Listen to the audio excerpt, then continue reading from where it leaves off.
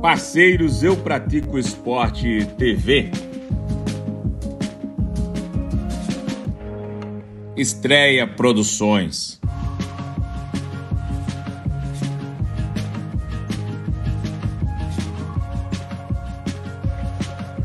Davidson Moreira, personal trainer. Corporate, alinhando tecnologia ao seu negócio. Paulo Paiva, fotografia esportiva. E colchões e travesseiros tropical.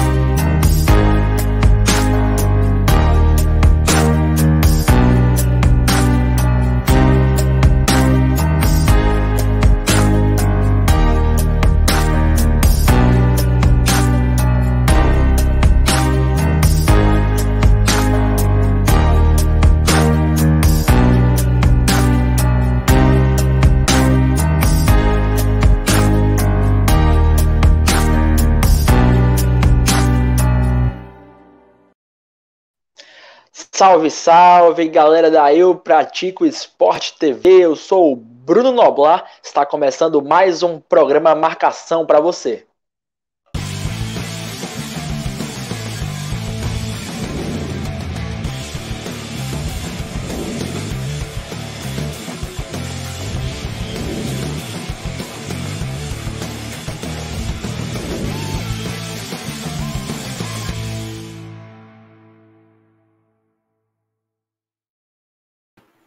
Torcedor rubro-negro, seja muito bem-vindo, seja muito bem-vinda.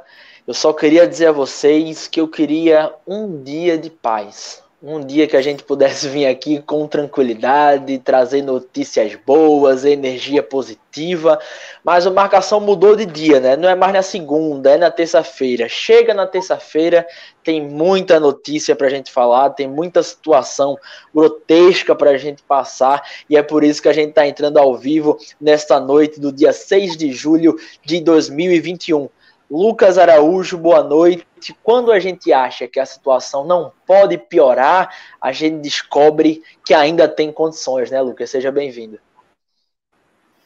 Boa noite, Bruno. Boa noite para o torcedor rubro-negro que está aí assistindo a gente. É, realmente, acho que paz, Bruno, é uma coisa que a gente só vai ver na próxima temporada.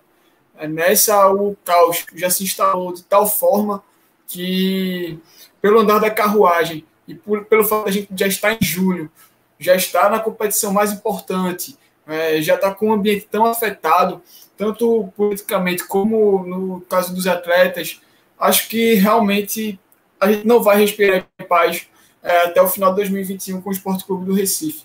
Resta torcer para que essas eleições aconteçam é, da maneira mais breve possível, para que a gente possa dar um start nessa reconstrução é, nesse processo de se reerguer o quanto antes, para que esse, essa paz que a gente tanto busca, ela possa vir em 2022, é, logo de cara, porque realmente é uma coisa que a torcida do esporte não merece. Eu queria perguntar, Bruno, se o, o áudio aqui ainda está chiado.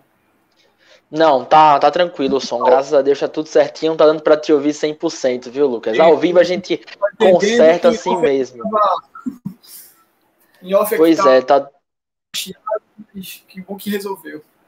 Mas graças a Deus resolveu. Eu vou te contar, viu, Lucas? Hoje eu acordei, ainda era muito cedo, hoje eu acordei, acho que eram umas seis e pouca da manhã, mas eu demorei para pegar o celular. E aí quando eu peguei, fiz, pô, vamos ver as primeiras informações do dia. E o dia já começou minimamente, não sei nem qual adjetivo que a gente pode usar, mas eu não queria ter tido uma crise de risco como eu tive, mas eu ri com o áudio do Oleu lá, Milton Bivar. Eu já não queria começar o dia rindo daquela situação, na qual a gente não vai precisar comentar aqui. Quem já viu nas redes sociais, Bom Dia Rubro Negro estava aí para isso também. E aí, quando você acha que não pode ter nada mais bizarro, vem a situação das redes sociais, né? Quatro e meia da tarde, perto de cinco horas. É, eu estava acompanhando as redes sociais, mandar até um abraço para o Pedro Maranhão, que é um cara que é muito focado nisso, né? Sempre traz informação em primeira mão. E aí a página oficial Mil Grau, né, do Esporte Clube do Recife, colocou assim, né? Salários de abril pago, finalmente aí os jogadores estão recebendo, vão ficar aí com dois meses de atraso. De repente, quando a gente abre essa postagem, tem pelo menos 10 jogadores do esporte comentando na postagem, botando hashtag mentira. Entre eles, que eu vou lembrar aí de cabeça, tinha André, tinha Everaldo, tinha Chico, é. tinha Trellis, tinha. Me ajuda mais. Luan Poli, Carlos Eduardo. Luan Poli, Carlos Eduardo. Então, Céu jogadores. né? Pronto, jogadores de todas as posições, titulares, reservas, lesionados, todos eles se unindo para explicar que a informação estava equivocada. Hoje eu até acompanhei os programas televisivos, como o Globo Esporte de Pernambuco, a Sabrina Rocha passando essa informação que os salários iam ser pagos hoje. E aí teve essa declaração dos atletas afirmando que é, os salários não tinham sido pagos. O que eu entendi até agora, até a hora que a gente está fazendo o programa, é que os salários são pagos pelo TED, aquela coisa toda, cada um tem a sua, o seu banco, né, Santander, enfim, então o dinheiro ainda estava para cair. Beleza, até certo ponto eu entendo. E aí é, é onde começa para mim as coisas perderem, perderem a razão. E, e o que me parece é que não existe comunicação dentro do clube, porque assim na mídia foi passado o tempo inteiro que os salários eles iam é, serem pagos hoje. Todo mundo ia ter o salário da mão hoje.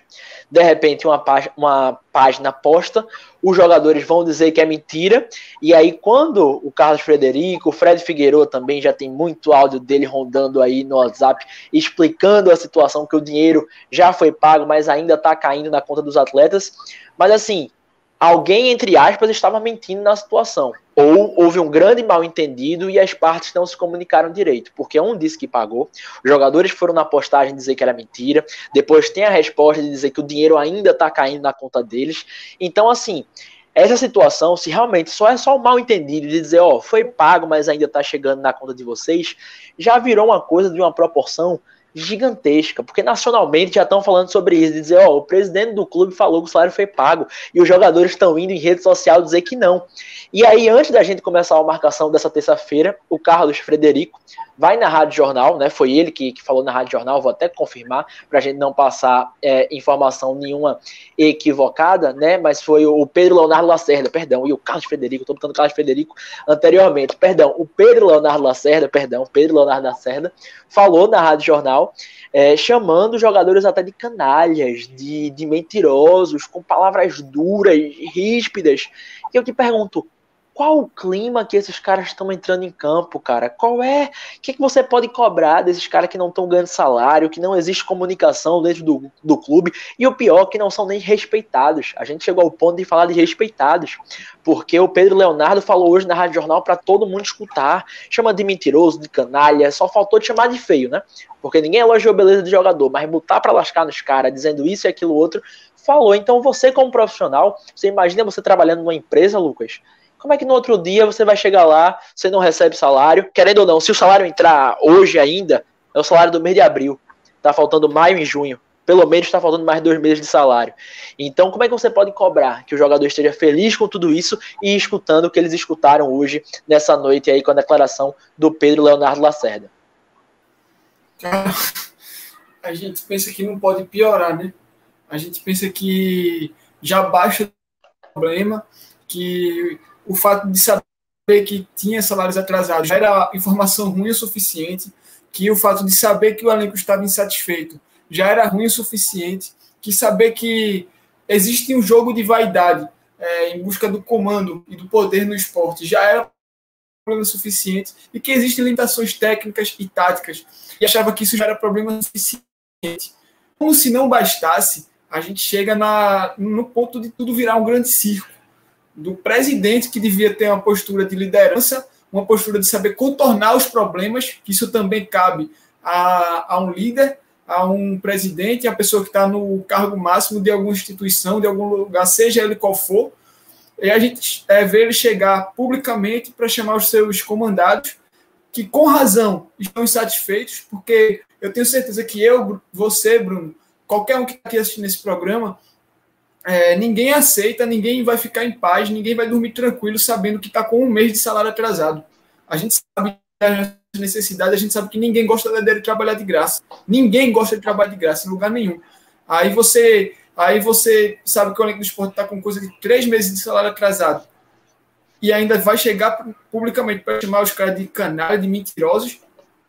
Primeiro, que ainda que a informação é, do mês de abril é, cair, tenha caído, se ele tiver caído, se realmente tiver feito essa transferência e não tiver caído hoje, cair amanhã, enfim, ainda assim os jogadores têm total razão de estar insatisfeitos, porque depois de abril tem maio, junho e já estamos no mês de julho. Ou seja, eles ainda continuam em dívida com os, com os jogadores. Os jogadores ainda continuam com motivos para insatisfeitos, para chateados. É, ainda continuam com razão de cobrar com razão para estar com uma dor de cabeça em relação a isso. Então, pelo amor de Deus, acho que toda a postura do, do Pedro Leonardo Lacerda foi deplorável.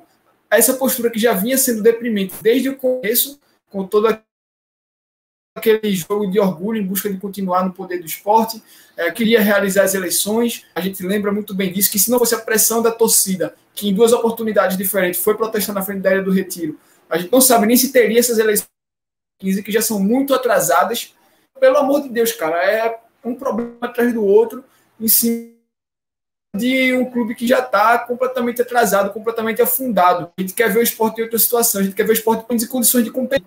Ganhar, perder, beleza, mas pelo menos com condições de competir. Hoje isso a gente, a gente tem um clube que está sem comando, um clube que está de mãos amarradas em meio a um furacão. Não tem nem forças para tentar se sair dessa situação. A gente vê o esporte jogando na primeira divisão, é, de maneira completamente engessada. É, eu não falo nem só dentro de campo, mas eu falo de, da sobrevivência do clube mesmo. É um clube que não tem forças para disputar e que está disputando o campeonato mais importante do país. Mas ele está sendo sucateado internamente, de dentro para fora. Não é o contrário, não é só jogador que está jogando mal, não é só treinador que está fazendo escolha errada. Tudo isso é verdade. Mas se você não tem comando, se você tem um cara que está agindo dessa maneira, é, que claramente não está fechado, é, não tem o elenco na mão, não tem a confiança dos jogadores e, e pelo visto nem preocupa em ter, você vai esperar o quê? A gente sabe que tem uma eleição aí que é a oportunidade de um novo start no esporte para a restante da temporada. Mas, cara, daqui para lá já vão ter o quê? Três partidas. Vão ser nove pontos jogados pelo ralo mesmo. Nove, nove pontos que você podia disputar. Chegar na décima terceira rodada. Pois é. Vamos lembrar que de várias ocasiões, na décima terceira rodada, a gente já tinha algum virtual rebaixado no campeonato. E pelo amor de Deus, com, com o que a gente está vendo, nada leva a crer que vai ser diferente agora. Os jogadores realmente não tem. Meu amigo, se você for chamado de canalha e mentiroso publicamente pelo seu chefe, que ânimo você vai ter para trabalhar no outro dia, estando com salários atrasados ainda mais? Não existe isso, cara. Não existe isso. Absurdo. O esporte tá largado, largado. Eu nunca vi isso antes. Nem na gestão de Arnaldo aconteceu uma coisa dessas.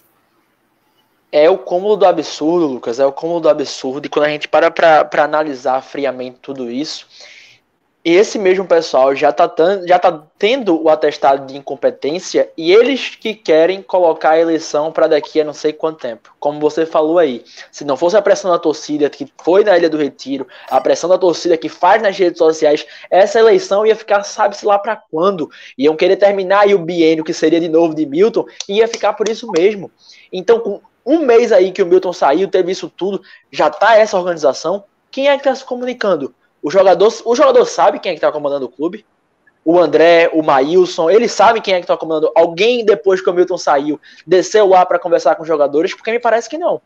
Não teve ninguém para acalmar, porque não chegou no consenso. A situação do Patrick ficou mal explicada, porque disseram que, além da comemoração de um gol, ele foi um dos caras que foi cobrar a gestão para saber em relação aos pagamentos. Então, cara, e aí? E aí, é assim que vocês queriam se manter no poder? É assim que vocês queriam que a situação se é, botasse outro candidato além do Milton? Porque é um atestado de incompetência. E não faz muito tempo que o Milton deixou aí o cargo, não. Vai para praticamente um mês que a gente sabe que vai ter uma nova eleição. Então, pelo amor de Deus, cara, pelo amor de Deus, acabaram com o respeito que o esporte tem. O esporte é chacota nacional. E são vocês que estão aí dentro que merecem ouvir isso. Porque uma coisa, a gente tá falando de jogador, jogador, jogador de futebol, graças a Deus eles recebem 30 mil, 40 mil, mas e funcionário do clube? Não é só com o jogador que se preocupa, não, mas ah, o funcionário recebeu mês de abril recentemente. Pô, cara, funcionário ganha mil conto por mês, funcionário ganha um salário mínimo, funcionário tem necessidade de botar comida em casa todo santo dia, cara. E aí ficar falando de jogador, claro, já é um erro absurdo com o jogador, mas um mês de jogador, massa, vai resolver muita coisa. Agora de funcionário de clube de funcionário lá de categoria de base, e do roupeiro, e disso e aquilo outro. O pessoal não valoriza, não. É impressionante o que estão fazendo com o esporte. Todo dia uma notícia que sai de forma nacional. Quem é o jogador que vai querer vir para cá? Quem é que vai respeitar o clube, a instituição Esporte Clube do Recife, principalmente agora numa pandemia que não tem torcedor? A gente vê jogo de futebol, vê o Palmeiras treinando na Ilha do Retiro. O Palmeiras treinou na ilha, ganhou o jogo quando quis, no, no primeiro tempo contra o esporte. Por quê? Vai cobrar sangue dos caras? Vai cobrar sangue de quem? todo mundo na maior passividade, tem jogo que mostra energia, tem jogo que não mostra. Vai viver internamente o que eles estão vivendo? A gente não tá lá todo dia para dizer o que é está acontecendo, não. A gente só sabe das principais notícias quando elas são colocadas para fora. E o que parece que quem comanda o esporte é capaz de fazer isso, fazer esse áudio que saiu hoje na Rádio Jornal aí. Chamar canalha, chamar isso e aquilo outro, e não ter um pingo de responsabilidade de acalmar a situação lá com os jogadores. Então, claro que a gente chega aqui para falar que é um caso da, da maior extremidade do mundo, é possivelmente jogadores não entrarem em campo. Isso não vai acontecer, né? Seria algo para entrar na história do clube. Isso não vai acontecer deles não entrarem em campo. Mas se não entrassem, e aí? Ia dizer que eles são os culpados? Passando por isso tudo, segundo as informações, Roberto Lousa chegou, que é o treinador, recebeu agora, deve ser o primeiro salário que o Lousa está recebendo agora. É esse de abril que está sendo pago. Qual é a cobrança que você vai fazer? Então eu até brinquei, eu ia começar o programa com isso hoje. Que eu, particularmente aqui, Alessandro dizia que quando eu falava, geralmente eu era muito sério e as pessoas tinham essa visão minha. Mas eu comecei a, a entrar no clima do canal, então já brinquei muito com o Lucas, com o Pedro Maranhão, mas eu não tenho mas eu não acho que cacife de chegar aqui no ar e começar a rir, tirar uma brincadeira, porque eu não tenho. Não, não dá para dizer que é você tá feliz falando do Esporte Clube do Recife, porque você não tá. O último momento feliz foi jogando esporte gol do Grêmio. Que eu até recebi mensagem, pô, o pós-jogo de vocês foi animado pra caramba. Foi, pô, todo mundo aliviado que o esporte ganhou um jogo. Todo mundo tirando um peso das costas. Então, como é que você pode chegar e dizer assim, porra, marcação, bom dia rubro-negro, vamos lá falar de coisa boa. Esporte não tem, não tem coisa boa, o esporte não tá trazendo coisa boa, esporte tá angustiando seu torcedor, tá envergonhando seu torcedor, não tá honrando seu torcedor. Então vai falar o quê? Todo mundo tá sabendo disso aí. Hoje o negócio do Milton Bivar lá do áudio já tava em tudo que era rede social, já tava tudo que era manchete aí de, de Twitter, enfim. Aí vem outra situação de salários como essa. O esporte é um barco à deriva, cara, que tá quase assim, muito perto de afundar. E o meu maior medo não é só com possível rebaixamento, não. O meu maior medo é passar pelo que o Cruzeiro tá passando nesse exato momento. É ir para uma Série B com, morrendo de medo de, de possivelmente jogar uma Série C, que o esporte nunca jogou na vida dele. Então eu sei que isso pode ser muito exagero da minha parte, porque depois da eleição tudo pode mudar, como se fosse mágica, né? Mas o que é muito difícil. Então o esporte é um time que, em termos de jogador, em termos de elenco, tem muito melhor do que o do ano passado. Vai me garantir que o esporte vai ficar nessa Série A? Não tem como garantir. Não tem como garantir. É um clube que, a princípio, ia, ia se organizar esse ano, ia melhorar financeiramente, ia dar um salto. Esse salto não veio. Pelo contrário, tá um declínio maior do que o outro e a gente tá aqui em julho já passou mais da metade do ano e a gente não tem ninguém para responder quem é o presidente do esporte. O cara que vai na rádio vai para esculhambar os jogadores que, querendo ou não, estão lá insatisfeitos, mas estão entrando em campo para jogar bola. Então, isso simplesmente não dá para aceitá-lo. Com certeza, cara. Você falou muito bem. É, dificilmente a gente vai ver um elenco que vai se recusar a jogar. É, acho que, puxando pela memória, eu não lembro disso ter acontecido nem com o esporte, nem com os times daqui de Pernambuco, nenhum jogo do Campeonato Brasileiro da primeira divisão. Eu lembro, por exemplo, é, o Botafogo, alguns anos atrás, entrando em campo com a faixa, é, reclamando dos salários atrasados. É, eu lembro de manifestações desse tipo, é, redes sociais, essas coisas, mas de se recusar a entrar, não vi, nunca vi. Porém, se os jogadores decidissem fazer isso, quem é que ia tirar a razão deles? Quem é que ia dizer que os caras estavam errados e se recusar a jogar depois de ser chamado de canalha por protestar contra salários atrasados. De canalha pelo próprio chefe, né? Se fosse um torcedor aleatório, alguma pessoa que não tivesse tanta relevância é, para a posição que eles ocupam, mas vindo do presidente do clube que eles estão que eles estão jogando, pelo amor de Deus, cara. Eu quero saber como é que o torcedor, de onde o torcedor do esporte vai tirar otimismo para o jogo de amanhã, para as próximas rodadas, para o restante do campeonato.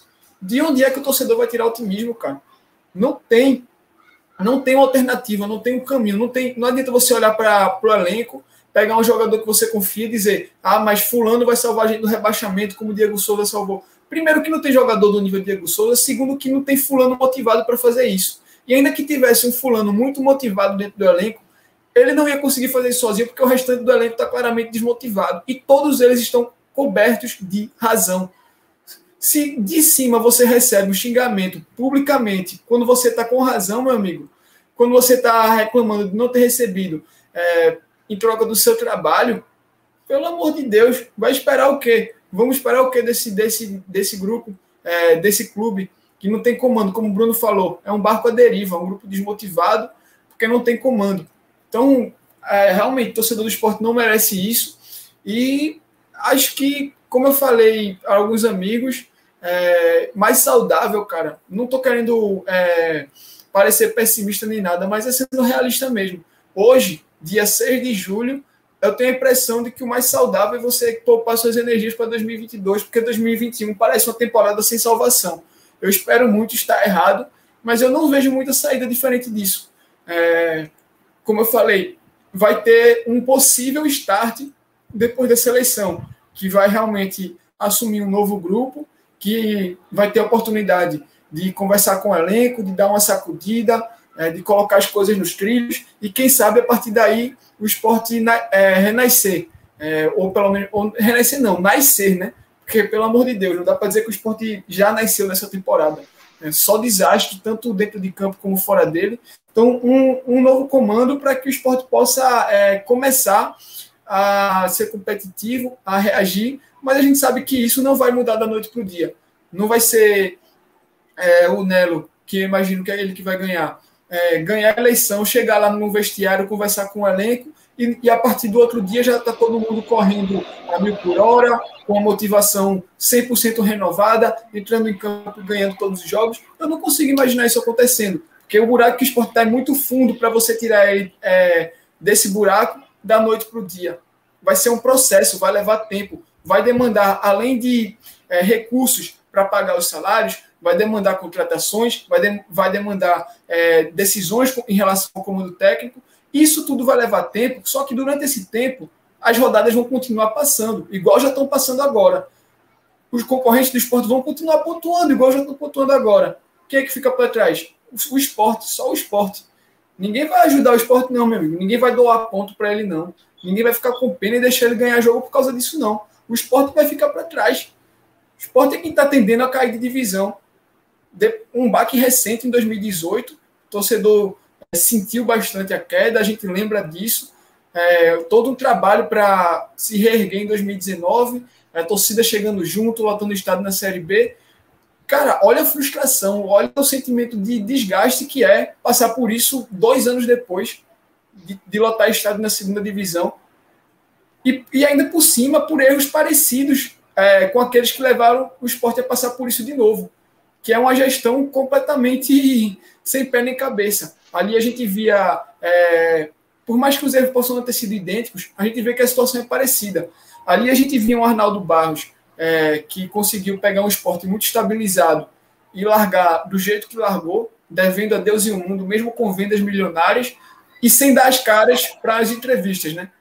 Hoje a gente viu o esporte com, é, sendo vítima de vaidade, de interesses pessoais de um, de meia dúzia, que moveram mundos e fundos para adiar a eleição mais de uma vez.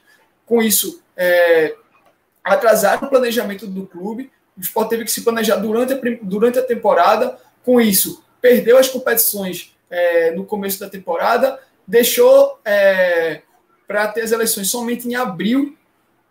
Você tem noção, o Campeonato Brasileiro começou em maio. Você vai decidir quem é seu presidente em abril. E ainda por cima as eleições acontecendo do jeito que aconteceram com todas aquelas polêmicas, e para pouco depois o barco já ser abandonado assim. Eu nunca vi na minha vida um clube ser tão negligenciado como eu estou vendo acontecer com o esporte agora.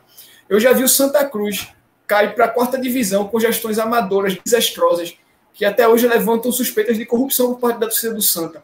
Mas eu nunca vi o clube ser tão largado como eu estou vendo fazendo com o esporte agora em 2021. Simplesmente abandonaram o barco e deixaram aí o tempo está passando, as rodadas estão passando, o esporte está com. Tá o Léo. Não tem quem tome decisões, não tem quem tome a frente da situação, não tem quem chegue junto do elenco para acolher eles, para dar confiança, para tentar é, colocar as coisas no trilho. Muito pelo contrário, quem devia fazer isso está chegando na rádio e está tá chamando os caras de canalha e mentiroso. Isso não existe. Como é que eu vou te, como é que eu vou chegar? Chega, chega para cobrar e ainda de uma maneira errada. Chega para cobrar e ainda de uma maneira errada, porque me dizer assim, ah, mas, Bruno, veja só, os jogadores que estão errados, porque realmente o salário ia cair. Cara, mais uma vez, como eu estou falando, quem é que está se comunicando com os jogadores? Alguém já apareceu para dizer isso? Oh, a gente explicou aos jogadores. O Maidana deu entrevista recentemente explicando salários atrasados. Então é um desrespeito também com o profissional, o que o Pedro Leonardo Lacerda fez nessa entrevista da Rádio Jornal.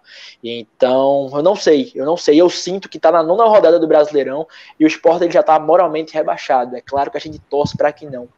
Claro que a gente espera que tenha a mudança depois da eleição e o esporte se supere mas é um time que, a princípio, infelizmente, está condenado ao rebaixamento. Eu espero muito, torcedor do esporte, muito. Tá errado, porque quando o esporte ganha jogo, a gente faz um pós-jogo aqui na maior alegria, a gente elogia Fulano, Cicrano, Beltrano, enfim. Mas o que está acontecendo com o esporte hoje, aqui dos 20 clubes da, da Série A, o esporte consegue ser, sem dúvidas, o mais desorganizado. A gente podia passar falando sobre isso, Lucas, três horas, quatro horas, mas o programa tem que rodar. Então a gente pede aí até o like do torcedor, tá? Para você sempre compartilhar com os amigos, pedir para se tornar membro aqui da Eu Pratico Sport TV. O Marcação é um programa apenas para os membros aqui do canal pacotes de até R$ 2,99, né, torcedor? Menos que uma passagem de ônibus, você vira membro aqui da Eu Pratico Sport TV tem conteúdos como o que vocês estão tendo hoje nessa noite é, de terça-feira. Mas e aí, Lucas, indo para o lado do futebol, tem jogo mais uma vez, né? Eu gosto quando o Alessandro briga comigo assim, faz, Bruno, tá lembrado que amanhã tem jogo, né? Faça ela, Alessandro. Tem tanta coisa rolando no esporte que a gente esquece um pouquinho é, que a bola vai rolar no dia posterior.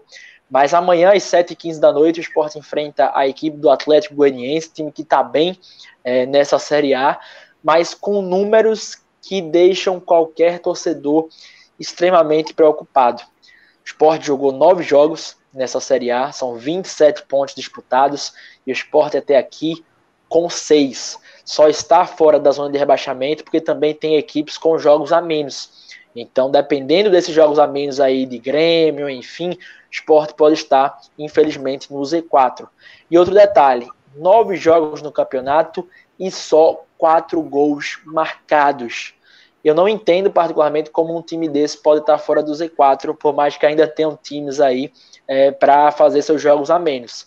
Os números são de um time 6 pontos em 27, Lucas. 4 gols em 9 jogos. Eu estou procurando uma luz no fim do túnel, mas está difícil de achar. Não, com certeza. É, como eu falei, o erro maior está na falta de comando. A falta de esperança passa diretamente pela falta de comando. Mas dentro de campo é, também existem várias deficiências, é, várias lacunas que estão aí desde o ano passado e não foram preenchidas. É, o esporte, desde o ano passado, não tem um segundo volante de qualidade. É, contratou para o início da temporada de 2020 o Richelli, que já vinha embaixo na carreira e não rendeu. Foi uma contratação de risco que não deu certo. Paciência, começo do ano. Depois disso, você vê é, parada para a pandemia, é, Campeonato Brasileiro. O que é que o esporte teve? Tempo. Teve tempo para reforçar, para melhorar isso contratou Betinho, contratou Ricardinho, dois jogadores que vinham de clubes de divisões inferiores, é, ou seja, apostas, não contratou em momento algum segundo volante para chegar vestir a camisa e ser titular. É, a gente via que durante a primeira divisão de 2020, quem assumiu essa função foi o Mugni, mas o Mugni não veio para o esporte com esse papel. Ele veio para ser o meio de criação, acabou se adequando ali naquela posição e acabou quebrando esse galho. Mas o esporte não tinha de fato um segundo volante que desse conta do recado. É, Betinho e Ricardinho podiam fazer um jogo bom aqui, outro ali, mas não conseguiam se firmar, não conseguiam ter regularidade, não conseguiam ser consistentes. É, o esporte, com essa lacuna, com essa carência, me inventou de contratar Márcio Araújo, Bruno.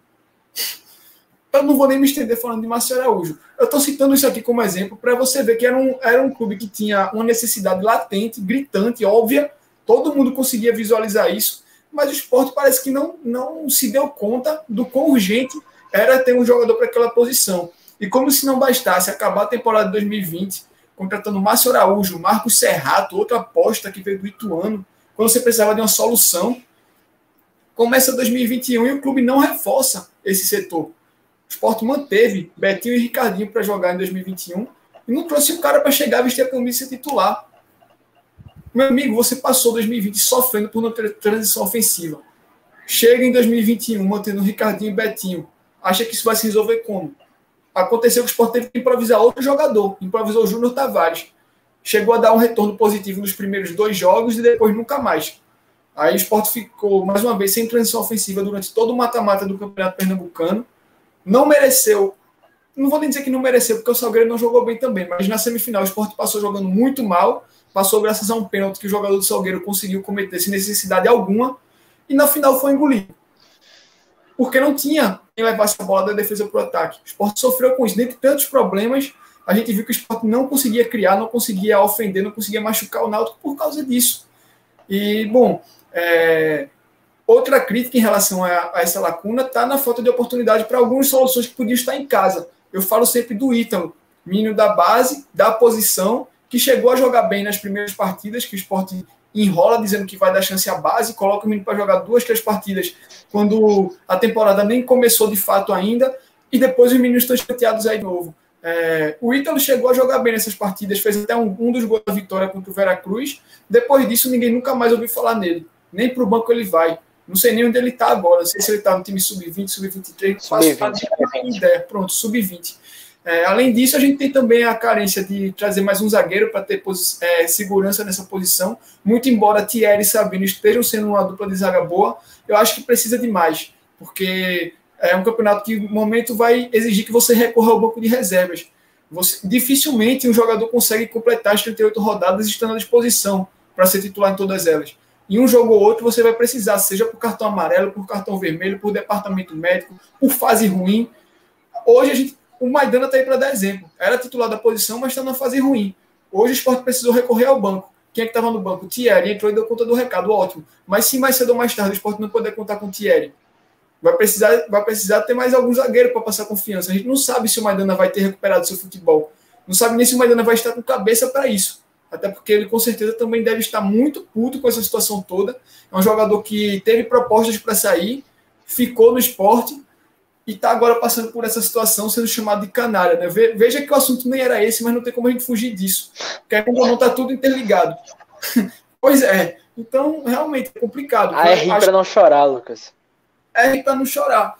A gente precisa ter essas, essas carências no elenco e também na, na, na beira do campo, porque eu acho que, independente de tudo, o Loser não conseguiu, em momento algum, extrair o melhor do esporte. E eu não estou falando só do Campeonato Brasileiro, não. Eu sei que muitos torcedores falam que, é, ah, mas ele não recebeu um salário, então deve estar com motivação. Beleza, faz sentido. Mas eu estou falando desde o comecinho do comecinho do trabalho dele. Vamos lembrar que lá no Campeonato Pernambucano, o Loser teve várias vezes é, semanas cheias de trabalho. É, jogo domingo, depois jogo só no outro domingo. Tempo ele teve, tempo ele teve para dar uma cara para o time do esporte. Mas a verdade é que, em momento algum, o esporte conseguiu fazer pelo menos dois jogos bons seguidos. Em momento algum, o esporte fez dois jogos bons seguidos. Então, eu acho que também é uma, uma das trocas mais urgentes a serem feitas quando a nova diretoria assumiu o comando do esporte. E eu, eu fico impressionado quando eu olho para esses números, Lucas, porque com tudo isso que você disse, ainda os jogadores que entram em campo, eu também espero mais. Eu não tenho como dizer a você que eu não, não espero. Porque tem Everaldo. Quando eu olho para o Neilton, cara, eu sei que a gente botou muita expectativa em cima dele, mas eu, eu vou para a realidade. É um cara que não conseguiu ser destaque num Coritiba rebaixado. Então a gente imaginou aqui que ele chegaria e recuperaria um futebol que uma vez ele já mostrou. Mas é um cara que também não consegue.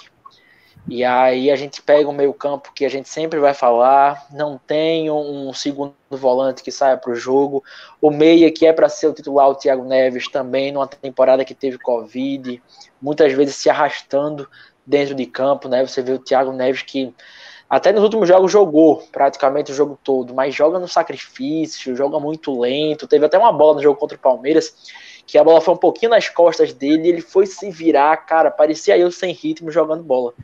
Que não não conseguia dar o giro rápido para buscar o jogo. Então, ainda assim, com todos esses problemas, eu espero que o esporte consiga dar mais sabe? Eu achei que o jogo contra o Santos mostrou um pouco mais de energia dos atletas em campo, mas foi dominado contra o Palmeiras no primeiro tempo. No segundo tempo, na minha opinião, até merecia ter empatado o jogo.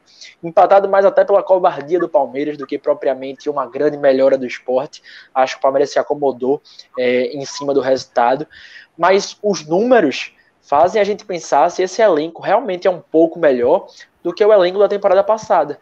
E é isso que me assusta, porque dizer assim, pô, tinha Dalberto temporada passada, tinha o Marquinhos. Você não lembra mais de algum jogador para jogar de ponta, né? Tinha um Bárcia que aí se lesionou durante o campeonato.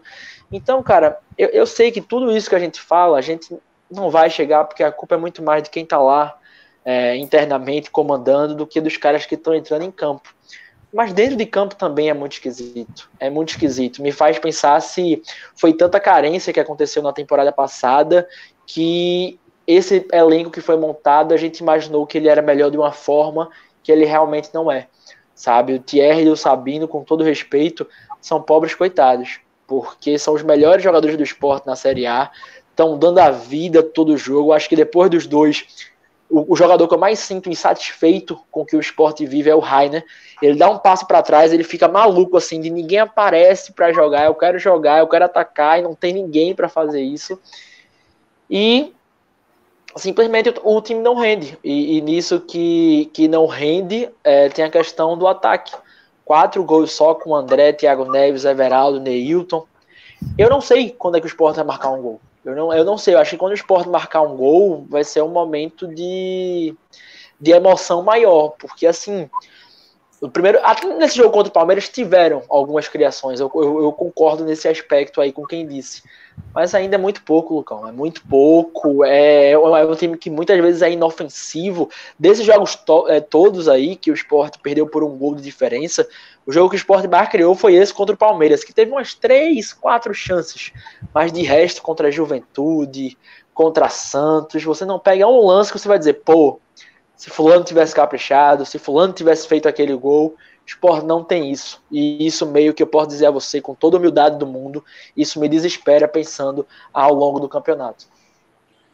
Olha, Bruno, acho que por esse, para esse, esses números baixos do ataque, é, eu também tenho essa decepção, mas acho que a gente não vai ver isso melhorar enquanto o esporte não tiver é, uma transição ofensiva não tiver uma solução para isso.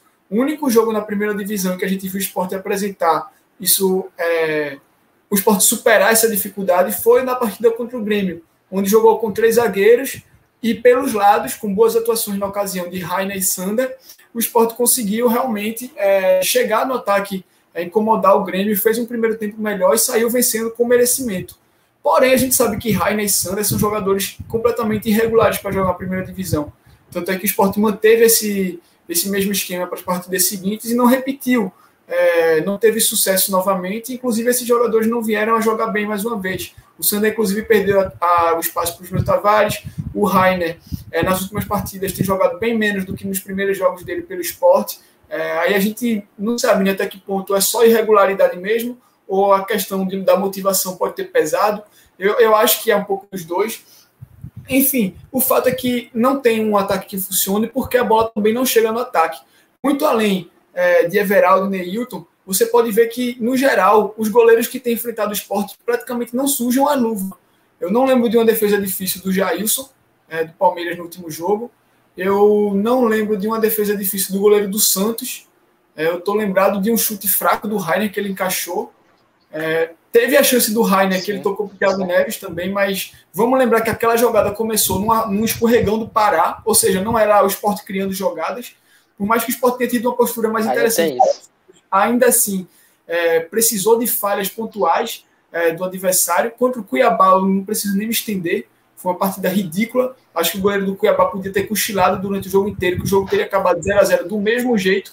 Então, cara, é, três jogos sem marcar consecutivamente quatro gols em nove jogos, isso não tem como ser coincidência.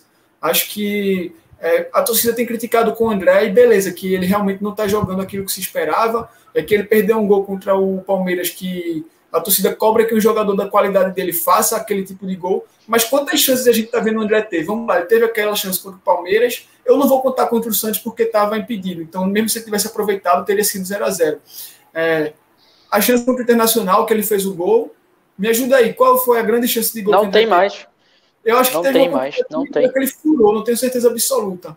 Enfim, você vê que é uma coisa muito, são coisas muito esporádicas. O centroavante passa 90 minutos ali, a bola praticamente não chega nele. Ele não tá, não tô dizendo que o André tá jogando bem não, para não pensarem que eu tô passando pano nem nada. É, assim, eu sempre acho justo pontuar que beleza. O rendimento dele também pode estar atrelado à questão do salário, à questão da falta de motivação, pode.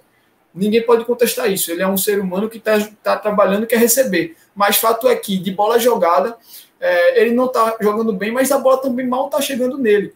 Everaldo e Neilton, eu me lembro que contra o Palmeiras, contra o Santos, eles foram jogadores que apareciam bastante para buscar a bola. O Everaldo, inclusive, sofreu aquela falta que era para o Marcos Rocha ser expulso no campo de defesa. Estava ali buscando a bola para partir para o campo de ataque, voltando para tentar é, municiar uma jogada porque você tem um, um, time tão carente de transição que você acaba sacrificando seus jogadores de frente para vir mais jogadas. O, o, próprio André teve que fazer isso em outras ocasiões. Contra o Fortaleza, aquela chance do Paulinho Mocelin, que foi a única chance de gol do esporte no jogo, partiu de uma jogada que o André voltou, saiu da marcação do, do, da, dos jogadores do Fortaleza e lançou a bola lá na frente para ele. Contra o Corinthians, o André teve lance também que ele teve que voltar, driblar os jogadores do Corinthians e lançar a bola lá na frente para o esporte ver se criava alguma chance. Ou seja, o próprio esquema de jogo do esporte sacrifica os jogadores é, de ataque. Eu não estou querendo dizer que Neilton está jogando bem, que André está jogando bem. Até porque eu também esperava um pouquinho mais do Neilton, também via potencial para ele render mais. Não esperava que ele viesse ser a estrela do time, porque ele já vinha em baixa é, há alguns anos. Já não era mais aquele Neilton que tinha se destacado em outra hora no cenário nacional. Porém, é, fato é que eu esperava um pouquinho mais dele, até pelo que ele chegou a demonstrar no, nos primeiros jogos aqui no esporte. Um cara que chamava muita responsabilidade, que estava sempre criando, sempre incomodando, errando bastante, mas estava tentando. Você via todo jogo Neilton tinha uns dois lances de perigo, pelo menos. É, o Everaldo ainda acho que está sendo o jogador mais consciente desse ataque do esporte.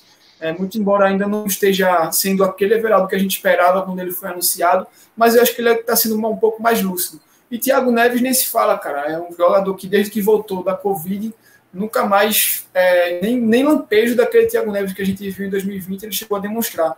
Parece um jogador fácil de se marcar. Ele pega a bola, é, qualquer um que encosta nele consegue desarmar, parece estar demonstrando fragilidade. Enfim, não está não tá realmente de jeito nenhum conseguindo ser produtivo. Então, como se não bastasse é, todas essas dificuldades, ainda tem a questão do, do esquema de jogo do esporte como eu falei, sacrifica os jogadores. Nada se ajuda, nada funciona. Literalmente nada está funcionando além da dupla de zaga. Eu concordo contigo, Lucas, e, e, eu vou te dizer, até peço desculpas pela cara que eu talvez esteja aí pro torcedor rubro-negro, porque realmente estou triste com a, com a situação, sabe? A gente tem que vir aqui, tem que ser profissional, mas a gente quer o bem do clube sem dúvida nenhuma. E amanhã tem Esporte Atlético Goianiense e não existe otimismo. Não existe otimismo para você falar. O Atlético é um bom time, tá a princípio aí na sétima colocação do campeonato, vencendo adversários complicados e tudo isso que o Lucas falou aí também já é assunto para outra hora. Mas para mim o Sport tem que jogar com três zagueiros, porque até o ataque fica com um pouco mais de jeito, porque com dois zagueiros a principal válvula de escape do Sport pela direita é o Rainer. Então, com três zagueiros, ele chega com mais frequência, porque até entre ele e o Neilton, ele tá chegando com mais perigo é, na área do adversário do que o atacante do esporte. E aí na esquerda, entre Sander e Júnior Tavares, é muito complicado. O Júnior é um cara mais técnico e o Sander é um cara que tem mais raça. Esse último jogo contra o Palmeiras do Júnior Tavares, meu Deus do céu, achei o Júnior Tavares que ele estava por obrigação dentro de campo. E isso me incomodou absurdo. Para mim foi um dos piores em campo na partida. Fica à vontade aí o torcedor se quiser discordar de mim. Mas é isso, Lucas. Eu voltaria com três zagueiros. O Thiago Lopes, que entrou no jogo contra o Palmeiras, cara, o Thiago Lopes entrou. Se você pegar o VT do jogo, Lucas, chega a ser gritante, porque o Thiago Lopes ele não dá uma carreira de 100 metros quando ele entra no jogo. O Thiago Lopes só aparece com a bola no pé ele só aparece com a bola no pé e de repente ele toca de lado, procura o passe mais próximo, não tenta um lançamento longo, enfim.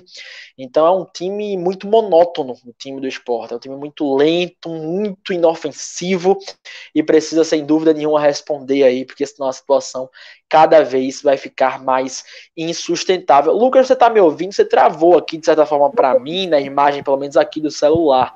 A do computador, não. Para mim, eu estou te vendo normal, mas você está me ouvindo bem? Estou perfeitamente.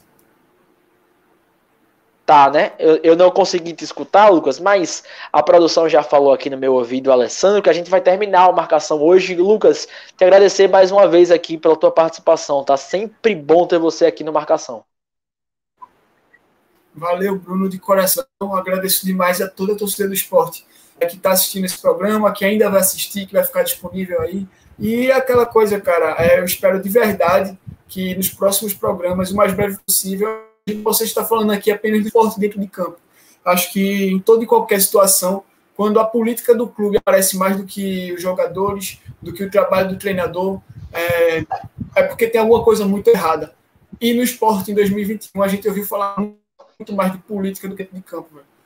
Desde o começo, desde aquela passada de adiação, ainda em 2020, se estendeu para 2021, está se estendendo agora para julho julho, Campeonato Brasileiro rolando aí. Estamos chegando na metade do primeiro turno. É um campeonato longo, mas não pense que não faz falta. esse tipo de coisa não. Então, que o quanto antes a gente possa estar tá com o programa é, falando daquilo que a gente quer falar, daquilo que o torcedor quer que a gente fale, que é o esporte dentro de campo, e falando de uma fase melhor, de resultados melhores, é, de conquistas do esporte em sua grandeza, a coisas com coisas à altura de sua grandeza.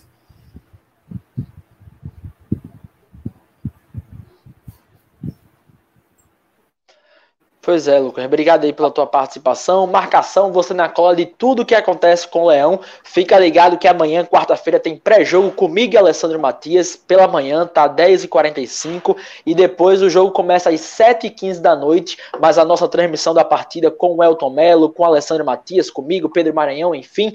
A transmissão começa às 6h45 da noite. E assim que a bola parar de rolar, tem um pós-jogo aqui na tela da Eu Pratico Sport TV. Um abraço aí para você, Lucas Araújo, um abraço para toda a torcida do esporte. A gente volta.